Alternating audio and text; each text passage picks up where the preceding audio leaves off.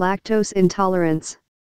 The condition resulting from the absence or deficiency of lactase in the mucosa cells of the gastrointestinal tract, and the inability to break down lactose in milk for absorption. Bacterial fermentation of the unabsorbed lactose leads to symptoms that range from a mild indigestion, dyspepsia, to severe diarrhea. Lactose intolerance may be an inborn error or acquired.